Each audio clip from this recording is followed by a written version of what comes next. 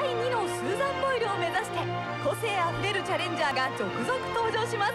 その歌声にご期待ください。それでは今週も新しいページをめくりましょう。おはようございます。おはようございます。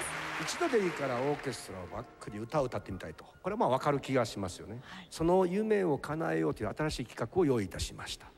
題して「目指せスーザン・ボイル」第1回歌ってみましょう今回は第1回ですし募集期間も3週間ほどと短かったんですが、うん、全国から160人を超える応募があったんです、ね、それでは皆さんと一緒に新しいページをめくりましょう。2009年の春イギリスの人気オーディション番組から一人の歌姫が誕生しました。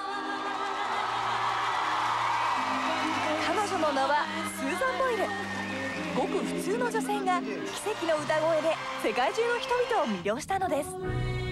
日本にもきっと彼女のような美しい歌声を持った人はいるはず。第2のスーザン・ボイルを目指してオーケストラをバックに自慢の歌声を存分に披露していただきます。審査員はこちら。ウィーン在住さまざまな舞台で活躍するソプラノ鮫島由美子さん。シャンソン歌手としても活躍。ファッション評論家のピーコさん。オペラや合唱作品も数多い作曲家の青島博さんです。目指せスーザン・ボイル第1回歌ってみましょう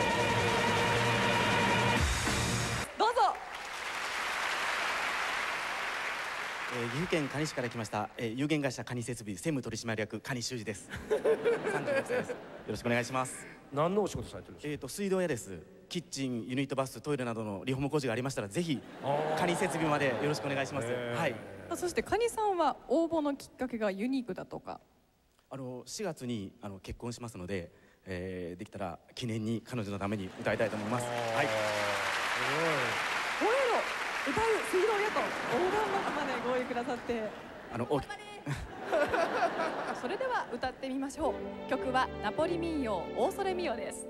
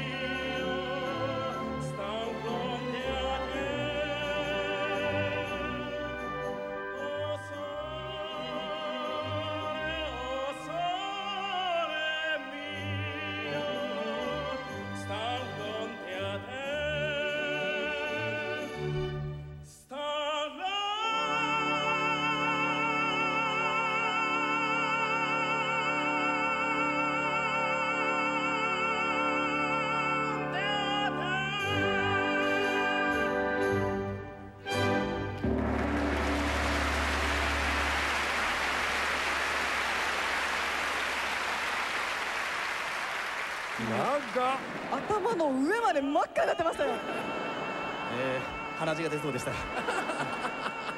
お姿を見た時にねどういう声を出す人なんだろうと思ったんです、うん、歌いだしたらあこういう声なんだ。顔と違うんだ。綺麗な声でね。綺麗な声でね。深い意味じゃないのよ。お幸せな結婚してください。ありがとうございますあのだんだんと顔が赤くなっていったかもしれませんけどそれは照明でなんとかごまかすことができました。えですけど本当に今の高い声のところは本当に素晴らしいことでございました。どうもありがとうございます、ね、結婚、えー、頑張ってね。婚約者の方に一言、どうぞ、えー、頑張って歌わさせていただきました。よろしくお願いしますどうもありがとうございましたさあではどんどん参りますよ。